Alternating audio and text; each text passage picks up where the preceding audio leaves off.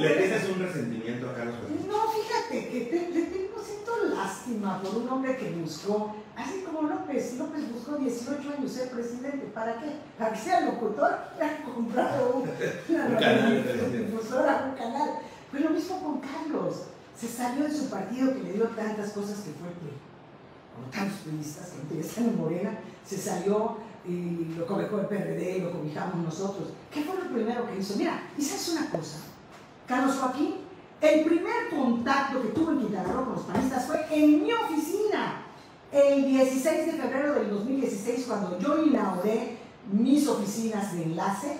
Mejor me hablaron, en- al frente del mercado 28, me habló eh, Eduardo para decirme, oye, recibirías a Carlos allá. Me habló este hombre, el de los ojos azules, Ramón, eh, Ramón Martín. Me habló, oye, Martín Patricia, no, Ramón Martín Azuel. Ah, Ramón Martínez. Así